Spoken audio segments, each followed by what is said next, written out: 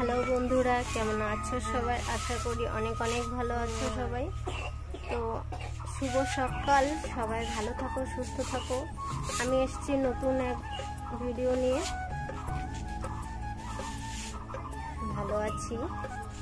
আর আমি ঘুম থেকে উঠেছি অনেক আগেই সাড়ে পাঁচটার সময় ঘুম থেকে উঠেছি। এখনও রান্নার কাজ, বাসি কাজ কিছুই করিনি। আর আমার মিষ্টি সোনা এক্ষুনি ঘুম থেকে উঠেছে। খুব রেগে আছে আমার উপরে ঘুম থেকে উঠে। নিজের চিপস পায়নি তো একটু পরে দোকানে যাব। যেতে হবে? মামা দোকানে? দোকানে? যেতে হবে? আচ্ছা। আর মনও যাবে, ঠিক আছে।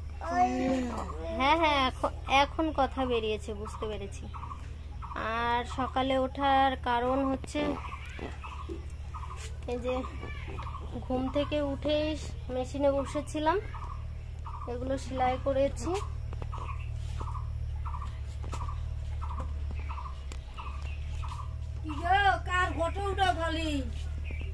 আজকে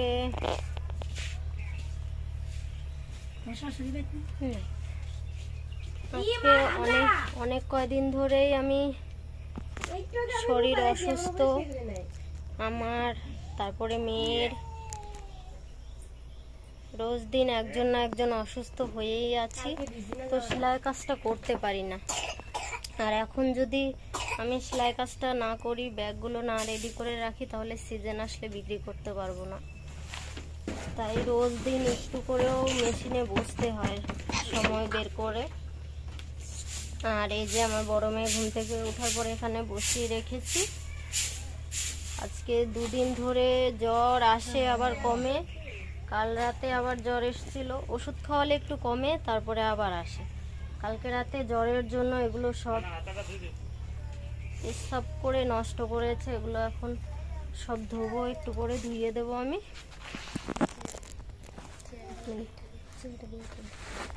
আর এগুলো ঘরে রেখে তারপরে রান্নার কাজ করব।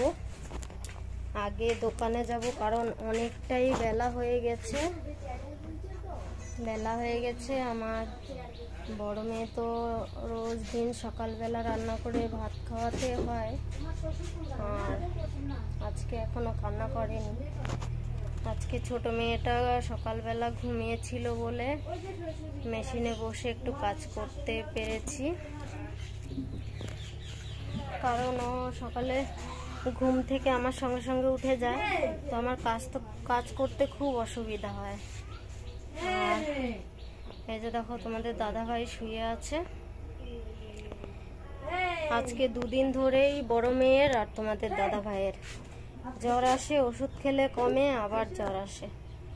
তো ভালো করে গাড়ি চালাতে পারে না। কারণ মাথা তুলতে পারে না, গাড়ি নিয়ে বের হবে।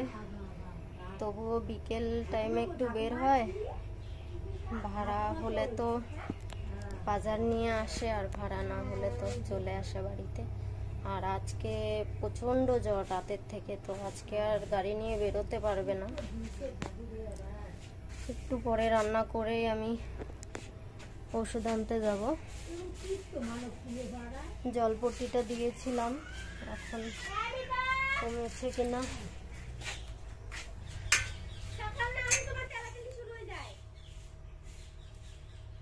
গা পুরো জ্বরে পুড়ে যাচ্ছে। তো আমি, আমার কাছে স্ট্যান্ড নেই যে আমি সব কাজ তোমাদের সঙ্গে শেয়ার করব। হাতে নিয়ে করতে হয় ফোনটা। তো আমি এখন আগে বাসি কাজটা করে বাসনগুলো ধুয়ে তারপর রান্না বসাবো।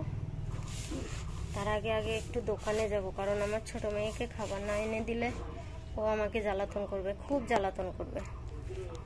তো বড় মেয়েকে আগে একটু মুড়ি খাওয়াবো, তারপরে রান্না বসাবো। আজকে অনেক দেরি হয়ে গেছে।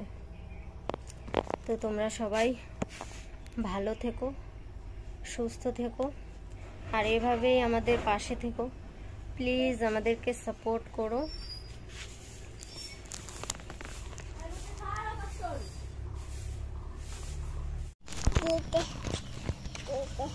তো এখন যাচ্ছি দোকানে দই বিস্কিট আনার জন্য। একমাত্র দোকানদার বাকি দেয় বলে আমরা মাস বাকি খাই তো। রোজ দিন পয়সা জোগাড় না হলে তখন খরচা নিতে পারি না তো। মাসের পরে পয়সাটা দিই। তাই বলে একটু সুবিধা হয়। গাড়ি নিয়ে না বেরোতে পারলেও খরচা নেওয়া যায়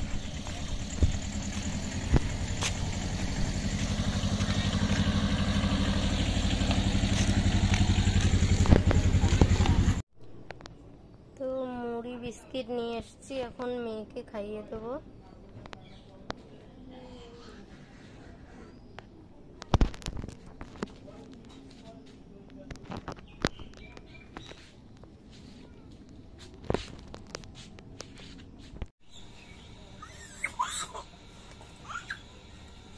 কি হলো তোমার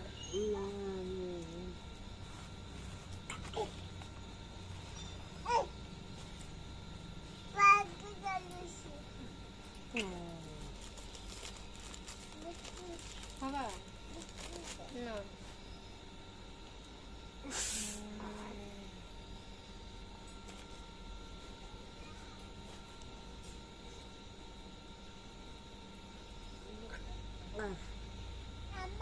মামা